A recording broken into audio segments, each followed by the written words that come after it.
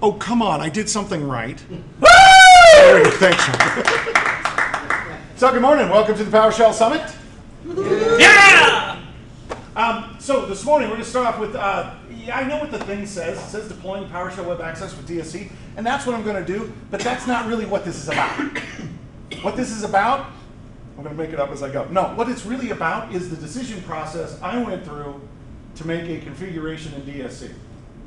In other words, what did I have to do to get a configuration to work? Insert your own goal here. I happen to do PowerShell Web Access because, well, I like PowerShell Web Access. Um, and I actually have a customer that had a particular issue, so I needed to do this for real. And I sat down to my configuration. Now, this is going to be kind of a discussion. I'm going to talk about that in a second. First of all, I, I think I have to show you this. Um, who I am. My name's Jason. Um, yeah. And what? Did, oh, yeah. This is a discussion. So I'm going to show you the way I thought about the problem. But it'd be really cool if you interject how maybe you're thinking about solving the problem, stuff like that. Um, so, you know, everybody keeps asking me about finger puppets, sir, and I, I didn't bring any, so I. So as I'm talking about this, just kind of kind of just shout out if you have a, a different idea or a different way to think about this, because when I sat down to do this, I mean this is this is really new, especially if you've been working with the V5 preview. Who, anybody working with the February V5? Okay, awesome. Things are changing rapidly in the DSC space, right? Microsoft is, is moving really fast, and so a lot of things are changing. On Wednesday, we're going to talk about best practices, and one of the things about best practices with DSC is what was, what was the best practice yesterday may not be the best practice today because it's evolving so quick. So when I was thinking about solving this particular problem of, of getting PowerShell Web Access set up with DSC, I was trying to do my best. And you might not think that it is the best, so give your opinions as we go along. Um, and like I said, replace PowerShell Web Access with, other, with whatever your target goal is. I'm an IT guy, and so this is how I kind of thought about this problem. So let me just kind of start off by showing you the uh, setup here real quick. I've got um, a domain controller and I've got a test server, server S1, that we're going to slam a config to. You with me? I'm not doing a pull server or anything like that, simply because that is unnecessary for this demonstration. What I want to do though is I want to show you, um, I've got a little script out here that I did not run yet, I don't think that does a little setup for me. So I just I didn't want it there to be any kind of like black magic going on. So I just want to show you. Uh, I'm going to add in a uh, uh, a DNS record. Here's what I want at the end, and this is what the customer wanted as well. They want PowerShell Web Access, but they don't want the default options. So they don't want it to be off the default website with slash PSWA. Neither do I. I'm an IIS guy that sucks. What I want is I want my own website. And in this case, it's going to be called, I forgot. I think it's just PSWA. Yeah, it's going to be PSWA and it's going to be company.com. Yes? Mm-hmm. Needs to be secured, have a certificate, all that kind of good stuff. So I just wanted to create a, a, a DNS record for that, and I'm going to do that. And I have some uh, uh, resources that I'm going to show you that I'm going to copy to my uh, authoring box, which is my domain controllers where I'm doing all my authoring. So let me just kind of uh, execute that. And it'll copy all my stuff. Hopefully it did it correctly. Not like I tested anything. Um, also, I, because um, I'm not doing a pull server or anything, I'm going to also just copy out, and guys, I'll give you all the code. Um, I'm going to copy out the uh, resources um, that I have to server S1. And I'm also going to copy out the certificate and install the certificate. Uh, I didn't want to deal with the certificate stuff in this short presentation, so I'm just putting a certificate out there. It's a real certificate, by the way, so it's not like a self-signed one. I got a real one. Oh, come on, be, be, be proud, be impressed. I did a nice certificate. No, don't do that. That's a, so here we go. Um, first of all, uh, I want to modify the. Uh, um, whoops. Yeah. I've only got two neurons, so um, the local configuration manager. Um, the only reason I'm making a modification, because I'm just going to do a, a, push to it, um, I'm modifying it to debug mode all, which if you come on Wednesday, we'll talk about, you probably hear, hear talked about here, something in the, the V5 stuff so that it refreshes your resources as you're working with them and editing them. Um, so I'm just going to send that out real quick um, to him, and you'll see that Ta-da! Oh, hey, it worked. That's Okay, that's not the fun part. Sounds so surprised. Oh, well, it's my code, so I, I, I am. Uh, um, so now let me uh, go into the config. So here's what I had as a problem. I want to, you guys know if you work with PowerShell Web Access, if you just install PowerShell Web Access, first of all, this is not complicated. Most people wouldn't even think about doing a configuration for this because you're not going to have like a thousand of these things. You're going to have one or two of them, right, in the load balance, and that's about it. So, you know, you run a couple of commandlets, you're done. But here's where the, the, the, the, the problem started to arise. So the customer said to me, he said, yeah, you know, we can install PowerShell Web Access, but the problem is this, it's getting installed on a box that has a lot of websites on it. Okay, so what's the big deal? Well, the other guys that are playing with that box sometimes remove components or make configuration changes to IIS and they screw things up. So we want a configuration so that there's no drift. Oh, okay, I get that. So this is what started this process of trying to, of me trying to do a configuration for it. Now, if you work with PSWA, you know that you have to have IIS installed. Now, PSWA, when you install it, it installs IIS for you. But see, that's I don't want to rely on that because people can go through and uninstall components. So I need a configuration that's going to install IIS. Well, IIS has a default installation where it installs uh, several role services.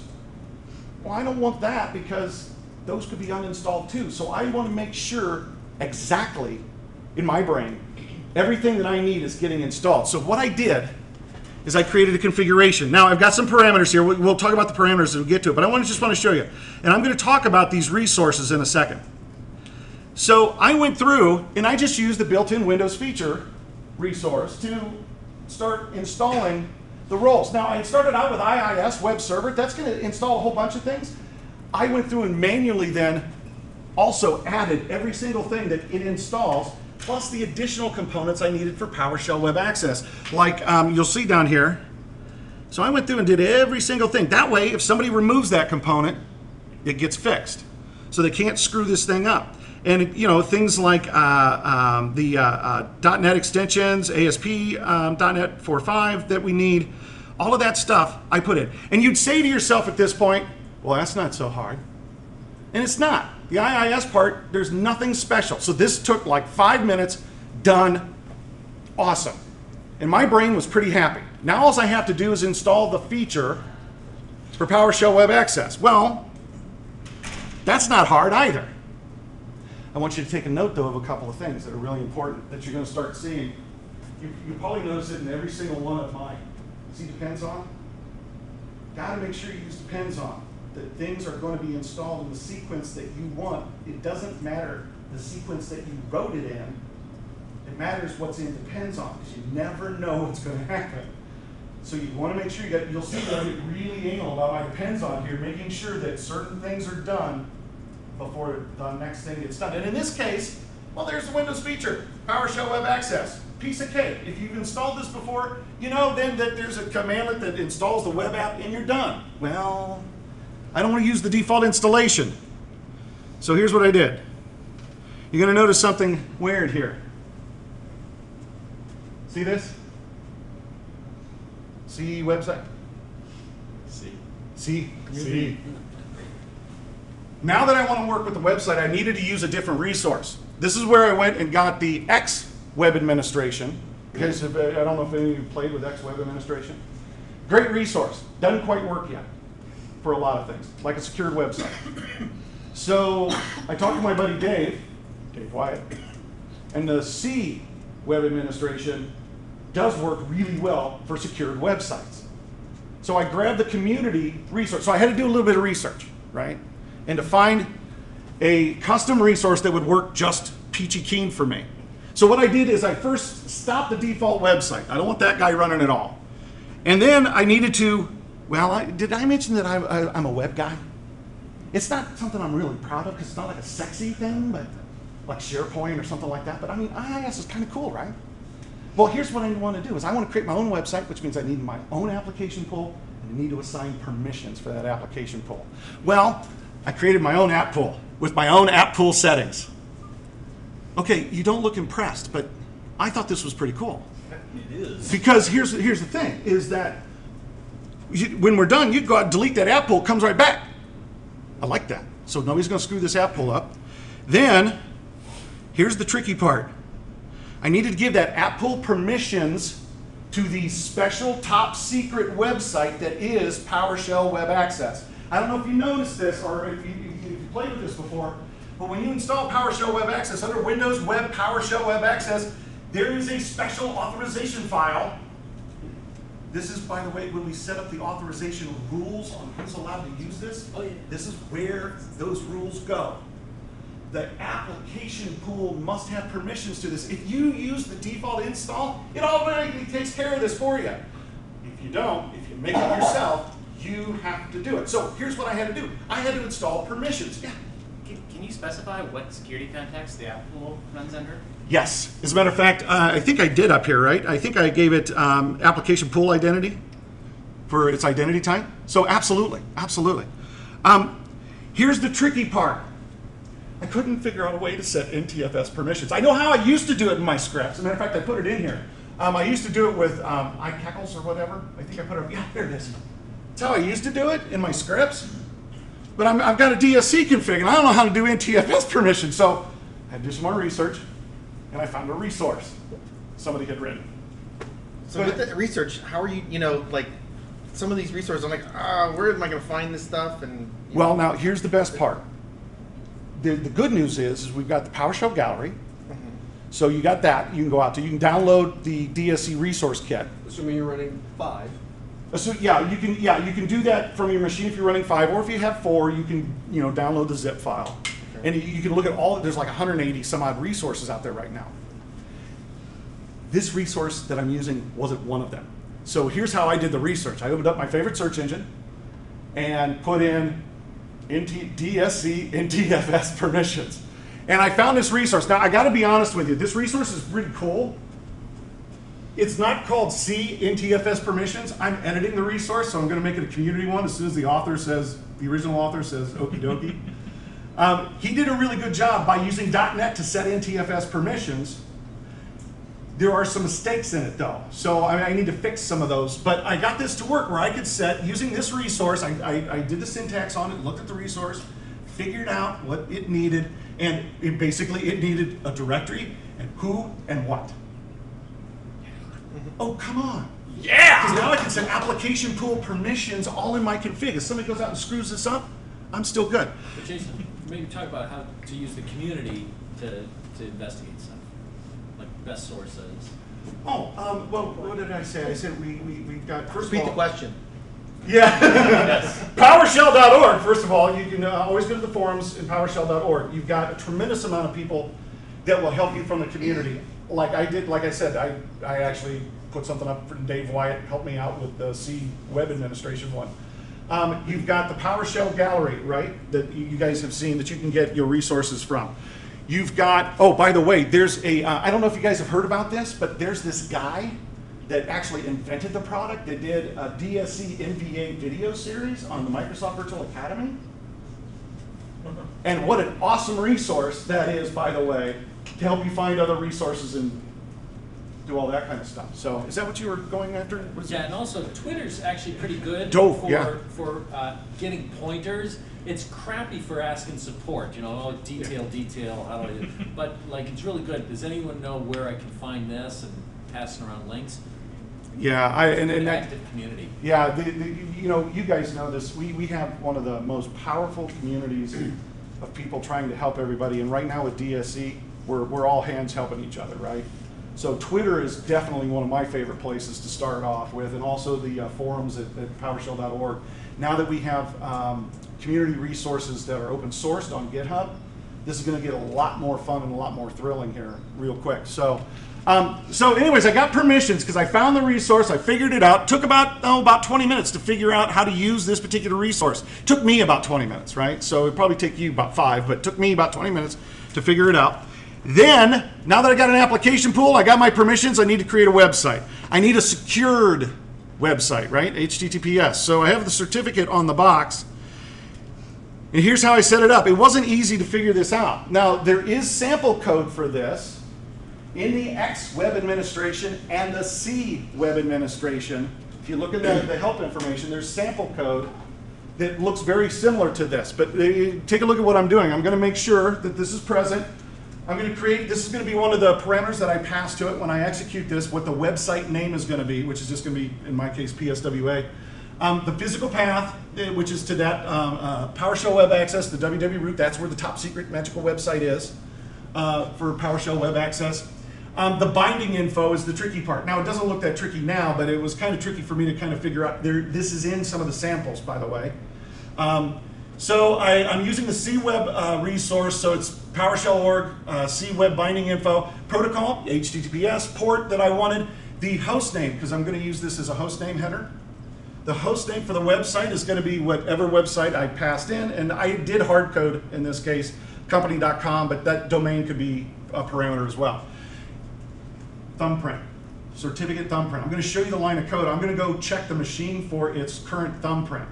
Now, I'm going to do a, a certificate management config later on. Uh, But in my brain, certificate management is totally separate in my brain from this website. So I didn't do any certificate management here. That's why it's already installed. But I need that thumbprint to get it assigned to that um, little duder. And it's in the store, my store. And you can see I've got my depends on, making sure everything's done before it gets there to the website. And now, go ahead. So this PSH org C web binding info, that's a, a nested config? It's nested in the C website. Um, X Web Administration in its X website has the exact same thing, only it's MSFT.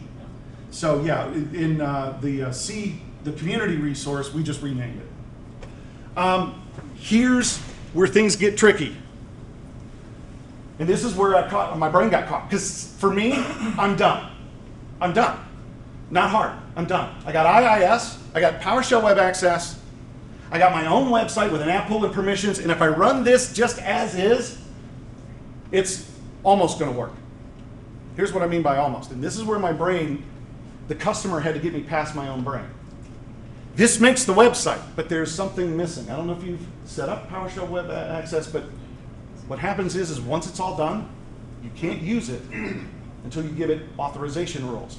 Now, a lot of people do that cheesy thing, right? Star, star, star, because you got to give it a user, what computers you can remote to, and what configs you want. No, go star, star, star. I'm a web guy. I don't like that. I like granular things. I like to say who and what I'm going to be doing. It. But in my brain, that's an ongoing management task, right? That's a security management task. So initially, I did this and I was happy because somebody behind the scenes will go through PowerShell remoting, run the authorization rules, they'll change the authorization rules. This is an ongoing thing. So I talked to the customer and they said, well, what about the authorization rules? And I said, well, that's just something you just, just run the commandlet, man. Just use PowerShell remoting, just go run the, not a big deal, just like you do any other permission setting. Customer said, that doesn't work for us. Why doesn't that work for you? Well, here's the problem. People screw with the permissions. Yeah, people screw with, and there are certain groups we want to make sure if somebody screws with the permissions, that group gets put back in. I didn't think about it that way. So now, here's what I needed to do. I needed to write a DSC config that included the authorization rules. Oops. Ain't no resources for that. Damn. I'm so happy. I was so because I was I was I was done. I was so happy. I just needed some rules. That resource doesn't exist, and that's what I'm here to show you. This is where my brain went. I need a resource. I don't have a resource. What would you do? Call Dave Wyatt. Call Dave Wyatt. Keep searching on Twitter. So if you're working on a config and you don't have a resource, who here knows PowerShell? Who here knows how to automate stuff in PowerShell? What's a resource? What's a resource? PowerShell. It's your automation all packaged up real pretty so we can use it in DSC. I'm thinking to myself, I was sitting there going, well, wait a minute, there's no resource for this, but you know what? I'm a web guy. I'm a PowerShell guy. I know how to automate this. In fact, it's just one commandlet. The commandlet already exists. I don't even have to work that hard. So why don't I write my own custom resource? How many of you here have written a custom resource? Is it because you're scared? Okay, ready. Duh. Why haven't you written a custom resource? even to try it. I got to tell you why I hadn't for a long time. You guys remember when 4.0 came out? Kenneth Hansen, Jeffrey Snover at TechEd doing this big demonstration. Make it so. I didn't run out and write a custom resource. I was scared to write a custom resource because that's what developers do. Even though they made it pretty, you know, clear cut. There's a, a, a resource designer that you can use to help you out. But I was scared. I didn't want to. I didn't want to tackle that because I wasn't ready to tackle that. You know what my problem was? I was scared, and I was letting that affect my judgment. Because here's what turns out: writing custom resource, I can do it. Guess what that means? We can do it. Oh yeah, you can do it much probably better than I can. In other words, I'm an IT guy that has learned to develop enough that it's writing custom resource isn't that hard. Have you guys looked at the new class-based custom resources? That's even easier. I didn't believe that either. As a matter of fact, I was. It's really cool. PowerShell's getting classes. I don't know why it's cool, but it's really cool. They tell me it's for custom resource. It's really cool. Yeah, I. That's dev. That's dev. That's dev. I'm not a. Oh wait a minute. Yeah, I am a. I'm becoming. I am a. Yeah. You're a hobbit. I'm a hobbit. I should be able to do a class-based custom resource, and I've been told that it's easier. You know what? It's a lot easier. It's so easy that I just have a template now. I just bang stuff into. I don't do it the old-fashioned way at all. The old-fashioned ones I wrote are now all class-based because it's not that hard. Everybody can learn to do this. And so here's what I did. I sat down. I said, I need to run an authorization rule. Therefore, I need my own custom. Re- you want to see my custom resource? Yes, yes, yes, yes, yes, yes. Okay, don't laugh. Okay. I was really, and I have to tell you, this only took me 15 minutes to write the custom resource. It took me 15 minutes just to get my brain all organized for the class-based stuff. Here's the deal. It took me an hour and a half to test it, right? To make sure that it was working the way it's supposed to. But it worked. Um, and y- y- here's the cool part about it. Um, let me. Uh, Did you use Pester? no, but I am going to now. Dave. I know. I gotta call Dave. Next session.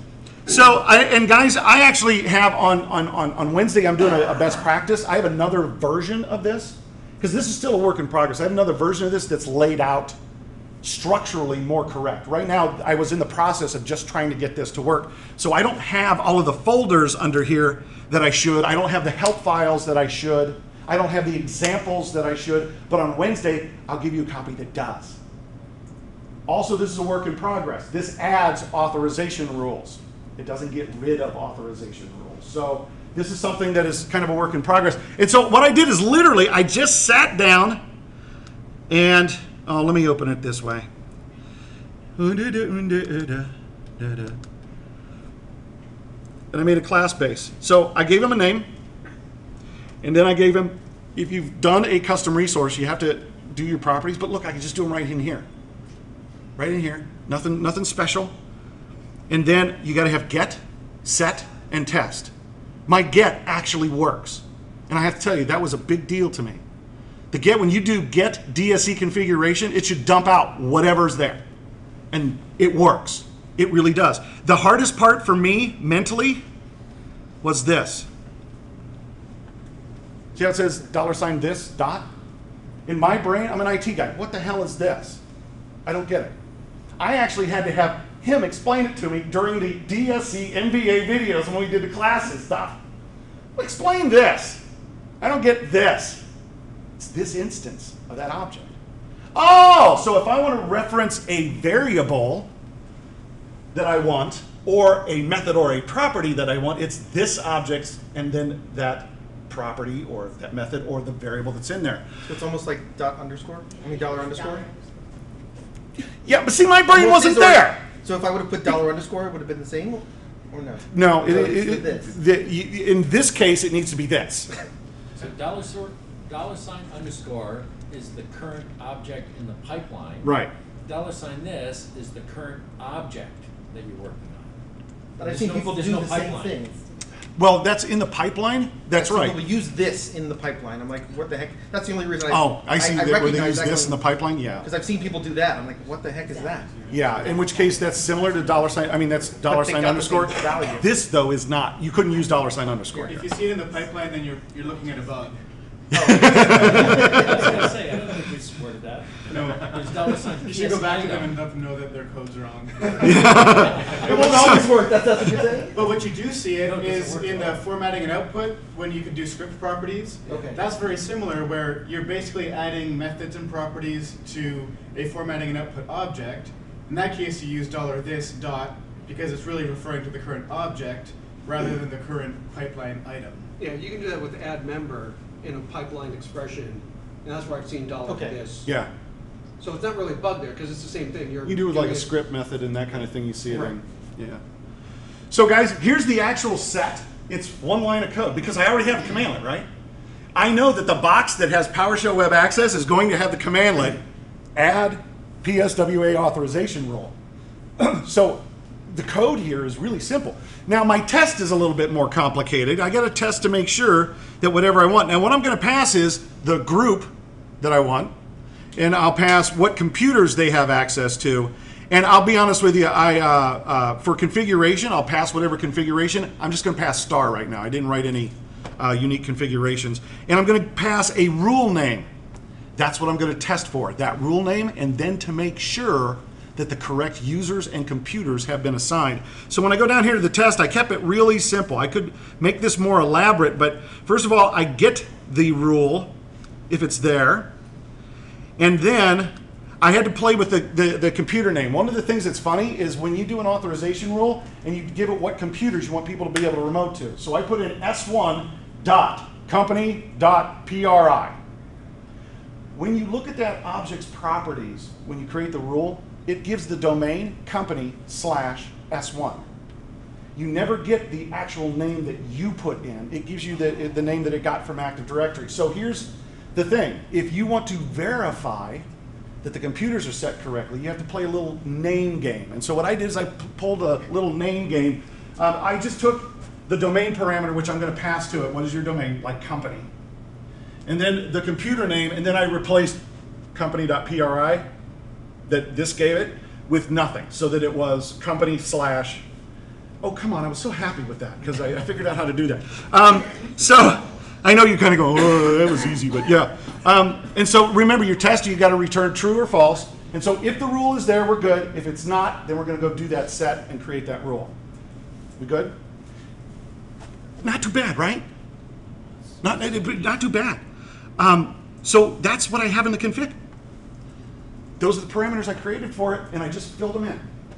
I could have passed them as configuration parameters, you know, I, I could have passed them, but I just hard coded it for right now. Um, and, well, do you want to see it run? Yeah, Sure. I want to see it run too. So here, here's down here. I want to see if it works. Um, I'm going to uh, go to the uh, certificate store on uh, the S1 computer, and I'm going to grab that thumbprint. Right, we need the thumbprint for the secured website. Um, then here's I'm going to run the config node to S1. I'm going to give it its website name, uh, PSWA. The name of the app pool I want. I always like underscore pool for my app pools. Everybody in the pool. That way, when I'm running command, command, you know, websites, that I can tell the difference between the just thought. Anyways, thumbprint, and it'll output it to a, a directory, and then um, we'll run the uh, config. So let's see what happens. This will, if it works, will take a, a few minutes to run. If it doesn't work, it'll fail really fast. Now, something you're going to see is interesting, especially when it gets to my custom resources, of all the things it's got to load to run that custom resource. But um, this is a great time to ask questions or make comments. So, sorry. Go Uh, in your custom resource, uh, you're passing the FQDN for the computer and then just stripping off the domain name. In But in the resource. config, in the config, I'm putting in the FQDN of the computer name. Yeah. And that custom resource then has to strip it off when it does its, when it, when it grabs the Oh, object it to test it, it has to strip it off. Gotcha, gotcha. Um, Oh, okay, that makes a lot of sense. because when it does that, when it looks at the, what it gets from the object, the property is domain slash computer name without all of that. Gotcha. Um, And you can change the path to your, set up the C, www root, whatever. You can change the physical path for the PSWA website? You can, uh, well, here's the thing, and I've done this a couple of times. You can move that website to a different path. I don't like to move it though, because when we get updates and stuff, if that gets updated, it's gonna get updated in the wrong place. So I actually like to leave it where it is, uh, personally. Um, that way I'm not screwing with the Microsoft stuff. Um, so at any rate, this thing's kind of running. Oh, sir. How did you get the search at the store?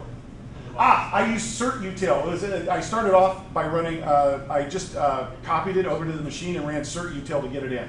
Now I'm going to write, and I'm sure other people are too, um, certificate management with DSC.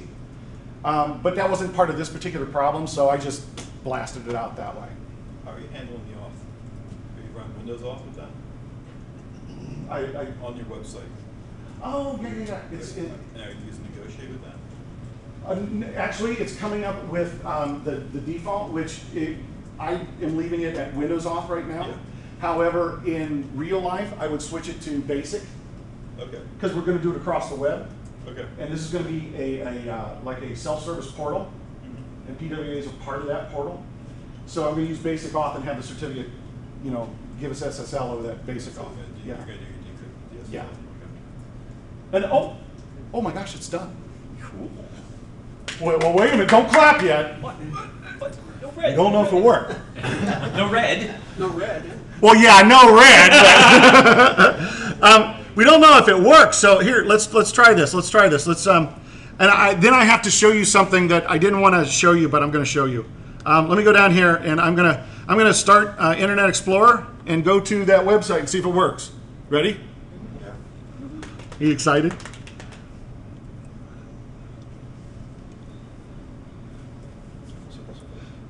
Okay, wait, yeah. wait, wait, wait, wait, wait, wait, wait, wait.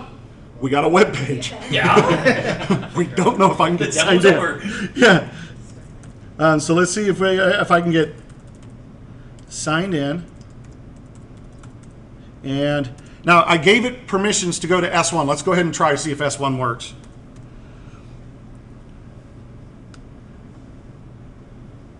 Take that. authorization and if i go if i sign out try to go to like dc it's not going to let me in because that's not part of the authorization rule. If i go out and delete an author uh, the authorization rule if i delete any of the iis components that are mandatory by that configuration it fixes itself. You just connected to some machine, type hostname. okay. Oh that's funny. Um, let's do host name Boom. We now i need to tell you something that i didn't want to tell you everything works magnificently Here's what I mean by that. When you're doing a configuration, you're going to run test DSC config, see whether it's in its desired state or not. You can do get DSC config to see what it, it has right now. Those don't currently work on my box. Here's why. Everything is perfect. My custom resource works perfectly. My config works perfectly that NTFS permission resource doesn't. So what happens is if I do get DSC config, I get nasty red stuff. If I take that resource out, and if you take this code and you play with it, if you take the NTFS resource out, everything will work just as you expect it to when you're testing it and, and working with it. I'm working on fixing that NTFS permission ones, and we'll put it up in the community site as soon as I get the author's permission. Um, but I, I'm, I'm fixing that. He has some problems in his gets and some issues like that. Is the reason it's giving the errors because of like bugs in the code or because the Bugs in that custom resource. Yeah, he's got some errors in his get, and there's also some mistakes in the set that I have to fix um, on his. And his is, a, is the old style resource, not class based. So I'm thinking I'm just going to rewrite the whole thing class based. But we can write our resources on our own and you know, without getting them certified or into the community Oh, yeah, site yeah, or yeah. something like that. Absolutely, absolutely. Because I sat down and banged out that resource. I mean, like I said, in 15 minutes, I had that thing from start to finish done. And then I just had to test it, and I, I didn't need anybody's approval. I just made it and went. And, and I was very happy because at that point, you know. Uh, Jason, yeah. yeah, it would be great wha- as you're fixing it to blog the the changes that you make, so the problems that were the bugs in the code and the approach that you use to fix them. Yeah, you know, the thing is, I don't like people, and I don't like talking to people, so I don't want to blog and help anybody. Uh, no, that's actually. Yeah, because going through No, that that's fair. process would be really great to hear about. Yeah, and, and the interesting thing is, is, is me working with my own mind, right? And, and, and I will blog this uh, as I go through and fix those other ones. And as I continue, it was me working with my own mind to see how I, as an IT guy, was thinking about this. And here's the beauty of it. From the beginning of the configuration, right up to me doing my own custom resource, my brain went along the path just like it should have. In other words, oh, I know how to do this, right? So I, I'll do Windows feature, do this, this, this, this. Oh, I need to be able to do something that I, I don't I don't have a resource for. Well, let's go out to the community for the web administration resource, and I'll do my websites. Oh, great, we got a resource. That, and then I hit the point of oh, there's no resource for the authorization rules. No, no worries. Make my own. And I made my own, and you know, I'm, I'm an IT guy that now is, has development skills, and I solved the customer's problem is really the most important thing. Are you gonna put the uh, development in Git? Because with Git, you can have the community help you. Ooh, you know what? That's a great idea. Um, that's what I'll, um, that's a great idea. That's so I'll put both. practice. Yeah, I, I, th- th- ooh, I, I'll, I'll add that to the best practice discussion. And, and repeat it for the recording. Oh, and, and where should we put our resources for, for development? Um, we should put them on, on Git so that the entire community can. What do you say? GitHub. Yes.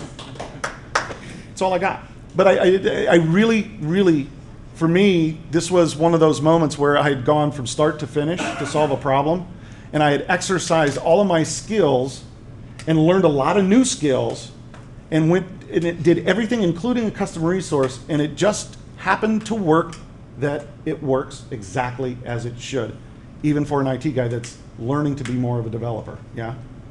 So I was pretty impressed. I was pretty happy at the end result. So was the customer, by the way. So it's kind of cool. That's all I got. So ask questions or whatever. You got it 10 minutes. Does it actually work? Like, you're gonna show the dumb admin screwing things up and then, Oh, I can do that. Yeah, yeah, yeah. That's yeah. Let's go. Let's has way too many rights. so so let's do this. Let's let's let's go over and here's here's S one. Let me let me maximize this little duder.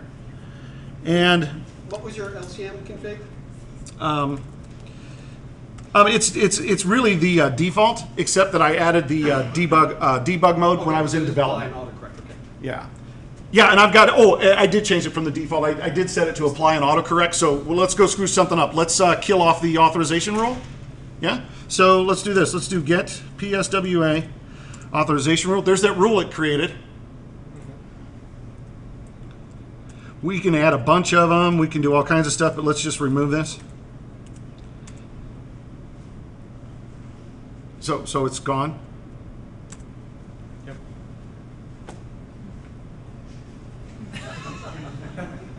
Well, now we have to wait, right, for the, no, no, no, try, try and access. You don't know it's actually missing, do you? oh man, you guys are cold, man. That's, okay, let's try to access it now. Oh, come on. Don't argue with me. Just do, do what I say. Okay, you're not gonna do what I say. Uh, so company, administrator. Oops. S one. Wah wah. Oh. Sad trombone. Sad trombone. So let's um, let's cancel on this one. Let's go back to here. Um, where's my little uh, config? Let's just. Uh, I've got dash force on this, so he'll um, force him to run. So let's just do do do do do. And by the way, now you'll see it's just. Uh, it'll just go through because all of the uh, tests. It'll now skip the sets for because everything's there except for the rule. So at the very bottom, it should hit the rule and redo it. So when you're configuring the, um, the virtual directory or the application that you're gonna use, is there any way for you to, um, not care about the directory structure? Because we have, I have continuous integration that changes the directory structure every time I- I that don't the understand. deployment happens. I don't understand. So I'm using a product called Octopus Deploy. Oh, okay. And what it does is it actually lays the code down and it'll put whatever the version number of the code is. And I want, what, what I want to do is have DSC initially create everything. and then Octopus Deploy will come in after the fact and push new bits as developers write new stuff. I think you probably want to do the, and, and believe me, you're surrounded by much smarter people than I am, but I think you want to kind of change that process the other way. Have, have Octopus actually put your stuff out, and then you set that directory, because you can ask for what that Well, directory is. It actually does it for you with the product, the product does it. Well, but that's kind of what I'm saying, because if you don't know the directory, I'm not sure how you're going to tell the Well, the config. directory is, is a form of the NuGet package, right? So the NuGet package is, I don't know, Mozu.com, which is the company, one of the companies I work for, is the, one of the sites I work, or administer, whatever you want. Do you know what the, the, the, the final directory is going to be when it's Yes, done it's- for it? Uh, yes, what it does is it explodes the package, whatever the name of the package is, Mm-hmm. dot, whatever the version number is, and it makes that directory. Well, when you, when you create the website, you have to give it what its physical path is going to be. It could be a network drive, it doesn't care. So if you want to have a mapping set up instead, so you can change that path whenever you want and the drive letter never changes, you can do that. Rather than doing a physical path, but the website's got to have its physical path. So does Octopus Deploy then update the IIS? Every time you do a new deployment, it'll actually touch that IIS site and update it with the next version, version NuGet package. So I wondered if there was a way that you could just say, don't, I mean, we could initially set it, right?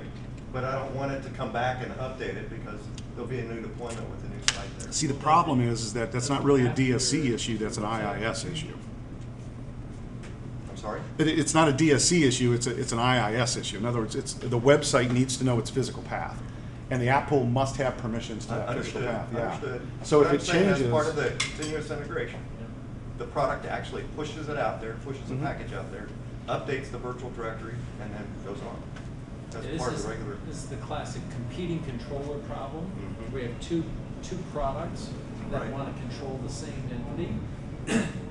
So it sounds like what you need to do is to do, after you do the initial setup. Right. To then just, I don't know if you can do it, uh, that resource, not specify the directory name. Then, you know, you'll do a test to make sure it's there, et cetera, but. You understand what I mean, though, right? Did you set the Yeah. directory name of the file and then do a get content of the file each time?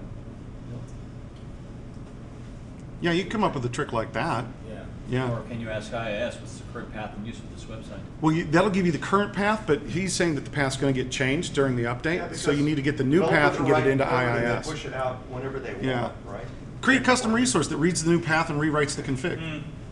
You might be able to have also the resource look for the latest directory, or even by version number or by date time. Okay, And that would then work. use that as the base, and then everything Hmm. else would apply to that. Yeah, that's the answer, is you Yeah. need a different resource that Okay. is aware of Octopus's semantics. Okay. That would work. So you guys want to see if it fixed itself? Yeah. Here we go. Yowza! I don't know where we're going to host the code, but I'll put the code up. I'm also going to put an updated version of that's that has all the help and all that kind of stuff in it uh, on on Wednesday. And sir, Do it as a module. PowerShell gallery. you Like know, we did with the MVA. you know, I was thinking about that, but I was kind of kind of kind of didn't know if, if, if anybody wanted it. Uh, Yes. Yeah. You want it? I'll put it up on as a module then, because that that would be, well, it would be almost my official first published module uh, after the MVA one, so. You need to parameterize. Don't- don't- don't- don't. Yeah, I, I, matter of fact, I, I was gonna do that. Um, I just, you know, when I was doing the, uh, test for it, I didn't, but yeah. The whole domain thing has to be completely parameterized, yeah. All right, guys, well, that's all, all we got. So you've got other shows today and things like that, and feel free to hang out and ask questions. The next speaker, uh, I, I'm supposed to push the button when everybody says I can shut up, so. Thank you. Okay, well, thank you. Shut up. Shut up! So I'm gonna push the button.